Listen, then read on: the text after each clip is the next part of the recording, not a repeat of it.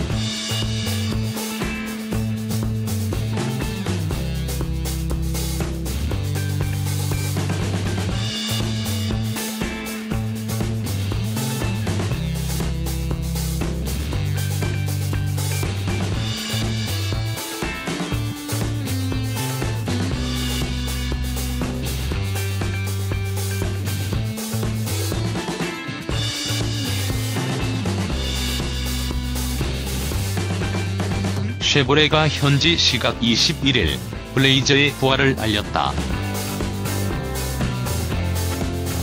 2005년 단종되었던 블레이저는 이쿼녹스와 트래버스의 사이를 메울 중형 SUV로 국내에 들어오면 산타페와 경쟁하게 된다. 사진은 신형 블레이저 중 고성능인 RS 모델인데 스포츠카 카마로의 얼굴을 반영한 크로스오버 느낌이다. 대형 블랙 그릴과 날카로운 주간주행 등은 역대 쉐보레 SUV 중 가장 날렵한 인상이다. 헤드램프는 신형 산타페처럼 아래로 내렸다. 옆모습에선 SUV 형제들과 신형 볼트의 이미지가 교차한다. A필러와 C필러를 블랙으로 처리해 플로팅 루프 느낌을 강조했고 루프 레일과 언더보디를 통일해 터프한 느낌을 주었다. 휠 사이즈는 18인치가 기본이고 최대 21인치까지 고를 수 있다. 실내의 이미지도 카마로에서 가져왔다.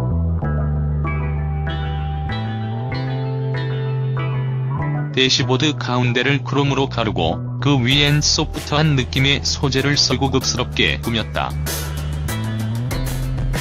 아날로그적인 계기판과 디지털적인 센터 모니터가 조화를 이루고 송풍구는 아래로 내렸다. 트렁크는 쓰임새를 높이기 위해 카고 펜스를 마련했다. 이를 활용하면 화물의 크기와 양에 따라 트렁크를 견고하게 나눌 수 있다. 이밖에 전자식 글러브 박스와 스마트폰, 무선 충전 시스템, 핸즈프리 파워리프트 게이트, 자동 히팅 스티어링 휠, 자동 통풍 시트, 원격 시동 장치, 6개의 USB 포트 등 편의 장비를 꼼꼼히 챙겼고 어댑티브 크루즈 컨트롤 등의 안정 장비도 담았다.